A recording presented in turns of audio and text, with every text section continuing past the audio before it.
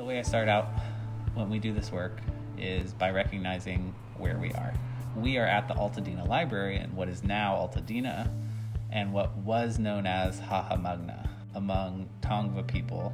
And what Hahamongna means is the place where water falls. We have a lot of waterfalls in our local mountains. It points to the place where we begin to do the work. Where and how is the water falling? And how are we absorbing it and appreciating that water that we have?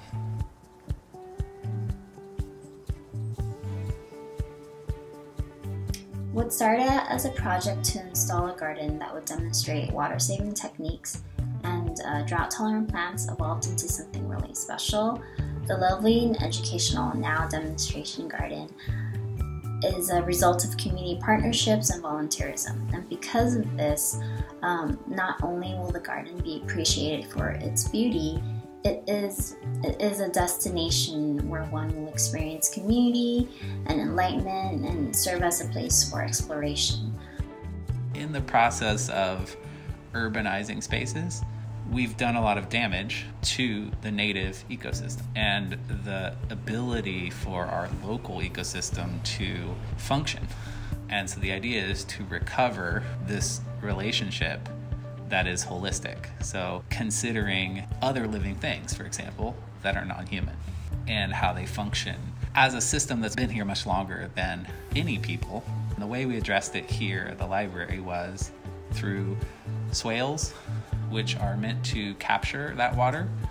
As it sinks in, it feeds the topsoil and the roots that are immediately around it, and then continues down and replenishes the aquifer and through that process, it's actually cleaning that water.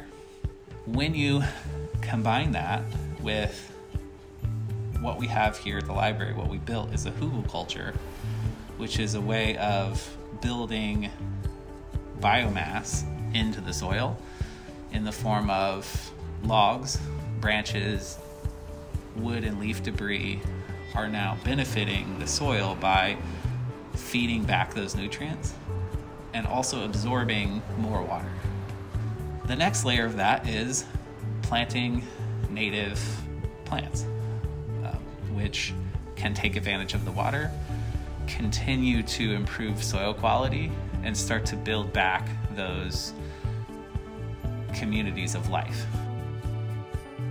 Foothill Municipal Water District partnered with Altadena Library in funding the Bob Lucas demonstration garden in hope of introducing an alternative to turf with beautiful, native, water efficient landscaping to the community of Altadena.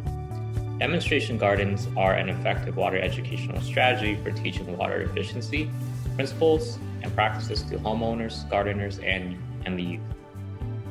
We'll be offering programming that includes outdoor hands on activities, uh, historical and cultural learning opportunities, as well as be a resource for those looking to learn more about gardening and plants.